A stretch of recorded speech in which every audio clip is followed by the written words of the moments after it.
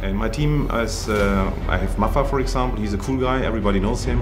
So, liebe Freunde der DCL, mit eurer SD-Karte werde ich jetzt den Track zerhacken.